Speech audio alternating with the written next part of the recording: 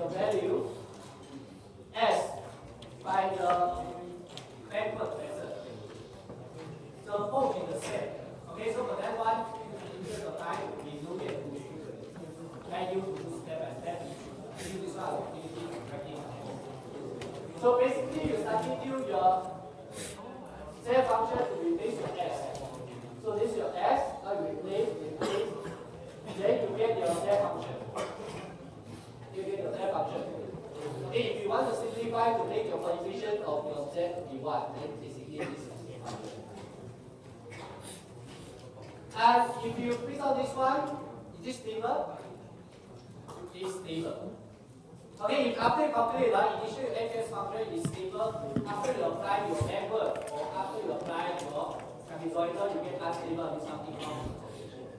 Because last week through the theoretic study, maybe you understand your backward and your trapezoidal. Make sure it's still stable. Alright? So this one for sure should be stable. Huh? Uh, you do the free standard analysis, you can notice this one is only about 39 So the stability has been preserved, but you may not be able to achieve a good free standard approximation.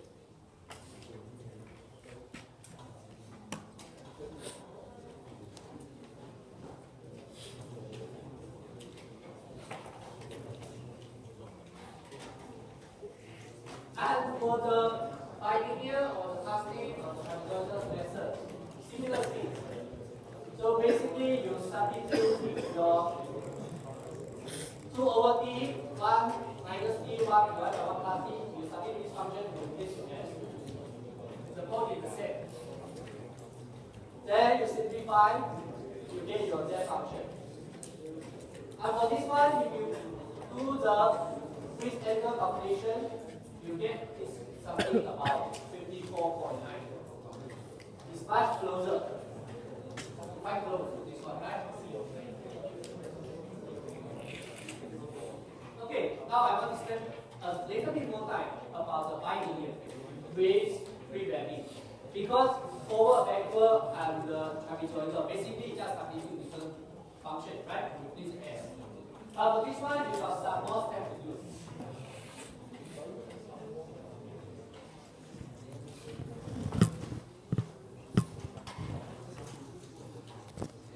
So this is the original HS function.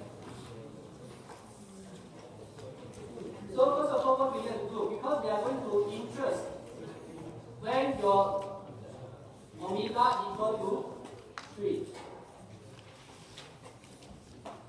So we are more look at the 3. So if your target equal frequency is 3, then I want to rewrite my transfer function this is original transfer function. I want to write this one in the form of s divided by 3. But once this one is s divided by 3, then everything should divide by 3, right? So basically what I want is, I want the up and down close divided by 3. So what I should get, I should get this one, right?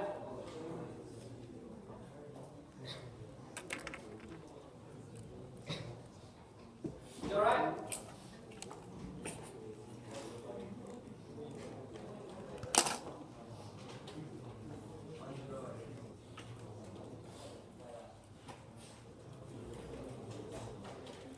And the next step, I need to do the pre-mapping. Pre-mapping, I to calculate how much is A. A is 2 divided by 3 tangent omega t divided by 2. So basically it's 2 divided by your 0.25, your tangent 3 and 0.25 divided by 2. So for this one, I will get my A is 3.149.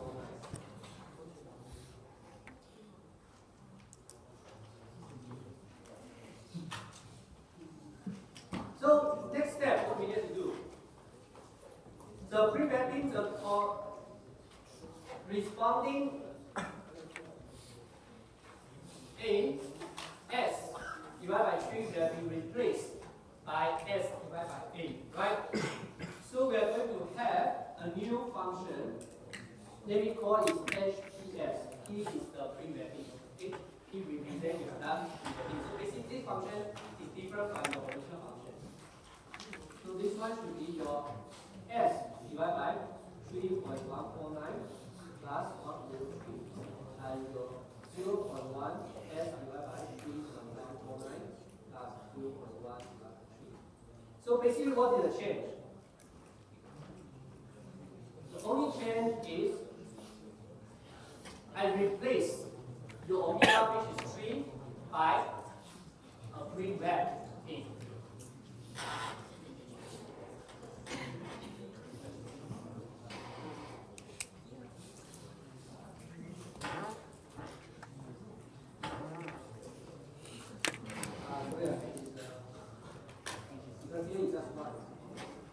because it's 0 0.1 s plus 1, not plus 0 0.1. So here's the 1.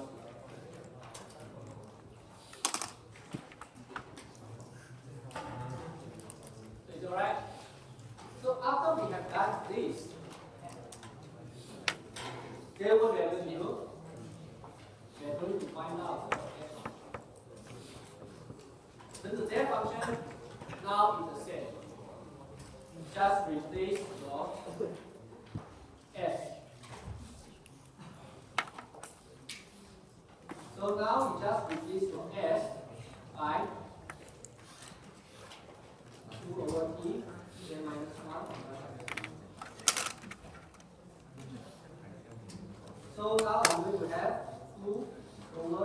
0.5, z minus 1, z plus 1, to replace this s, right?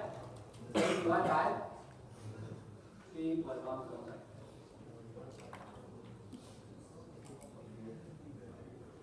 Two divided by zero point two five, z minus one, z plus one. This replace for s, right? Let's get it. So this I get by z function. Then whatever you have to do is just to clear, to clean it up, make it look nicer, right? use your calculator to calculate the answers. So basically, this is what you get. Once you get, you just replace your S with your S. Just replace your S. So for the pre-warping, there are certain tricky parts.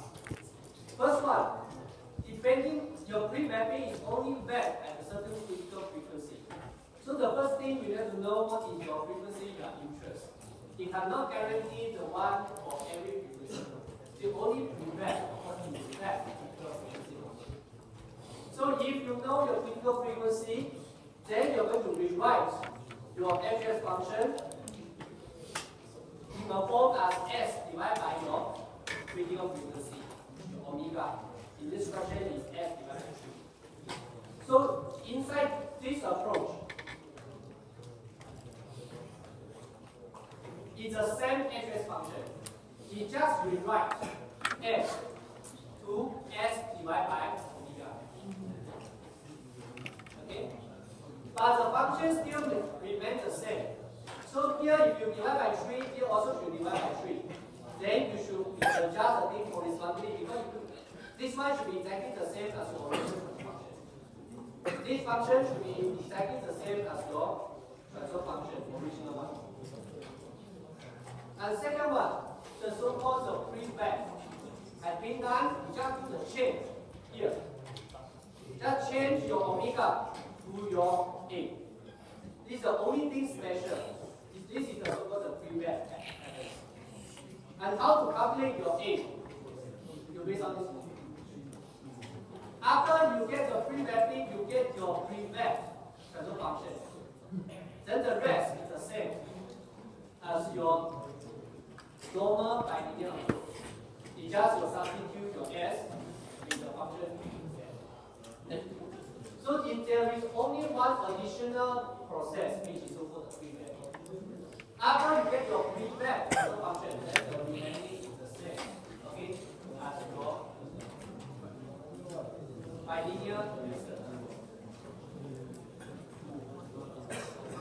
don't worry for those slides after class. I will post at the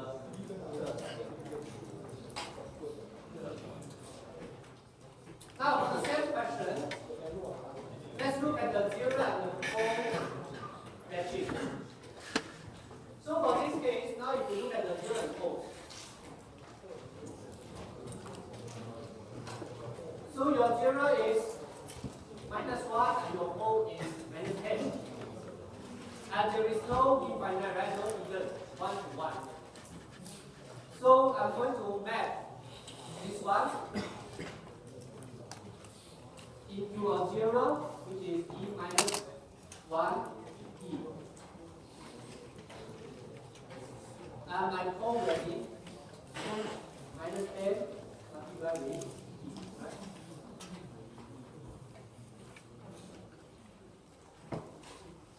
So for this one is 0.779. That is. So after I get this, my x z function is a z minus 0.779 and z minus 0.0. Because this is my uh, zero, this one is my pole. So basically, you map your zero. You map zero this one. You map this pose to this one. Alright? After we have done this, we need to see the next thing, which is the k. So how to evaluate the k? First of all, I need to find out what is the function when your s equal to zero. When s equal to 0, you have 0 plus 1 and 0 point 1 multiplied with f plus 1, you gain is 1. My f z equal to 1, you will get k 1 minus 0 0.779 divided by 1 minus 0 0.082. And you need this one to be the same, so you need this one to be 1. Then you can solve your k. So after you solve your k, k is about 4.15.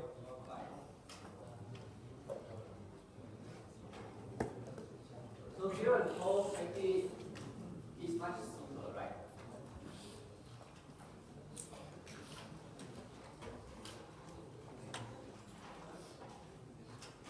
And the last one, the 0f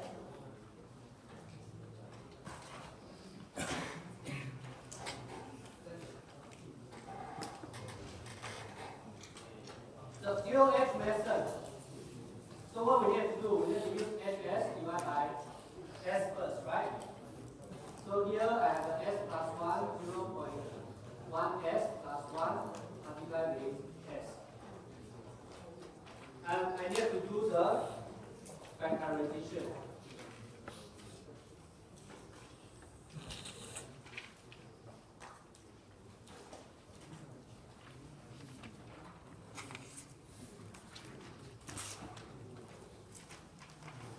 So after I've done the factorization, you get this one. Okay, so basically what you do is you are multiply with them. So this one. Okay, then the next step we need to do is to find the Z transform from the table. So we need to do the Z transform of x1 over s.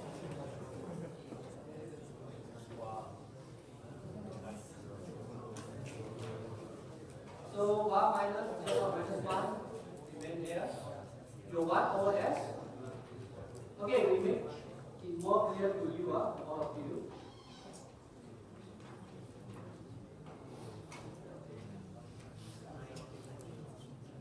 So basically, we look at the table for this one, we look at the table for this one, right? So you 1 over s, there, divided by 0, minus 1. And here, of course, uh, on the table you don't see 9 and 10. You only see S plus A and A, right? So this one to be 10 now. So for some of you, consider this one 10 s plus 10, then you then do multiply with 0.9 factors. Alright, then this one is something you can look at the table, right?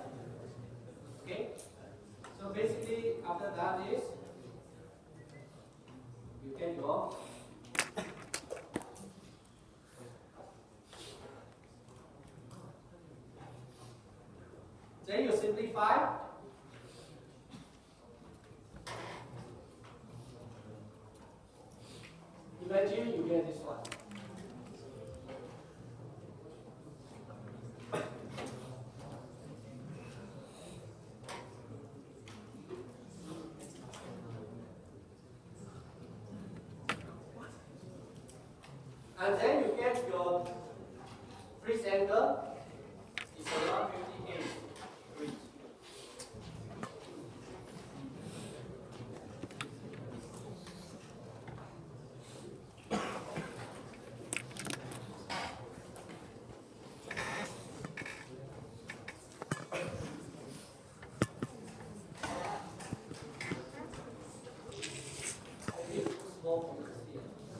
Anyway, I will upload the method proof here.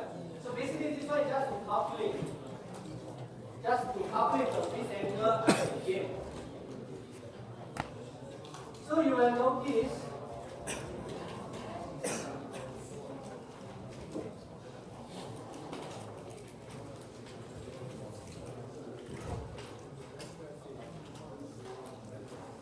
Okay, I can read for you. ah. So original phase angle is 40, 54.8658. If we use the backward method, we get 38.9. If we use the forward method, we, use, we get uh, 74.55. But if we're using the Tustin method, we get 40, uh, 54.9. And if do the mapping, we get 54.86. It's even closer. But if we are doing the zero and four placing class, we get 47.59. If we are using the zero order hold, we get 58.18. And basically, it's also been highlight, okay, in here. So you can do certain comparison, okay, for different methods, at least for this question. Because this question, they are looking for certain critical frequency response about the angle. And by using different approach, okay, your result will be different. Some are much closer. For example, your bilinear and your bilinear with your pre-warping, especially pre-warping, because pre-warping is particular trying to and that. Okay? You will notice your zero and pole, zero and pole placement is also not so close. Because basically F1 is not particular concerned about your phase change at omega equal to 3. Okay? But this one is only talk about the pole and zero equivalent.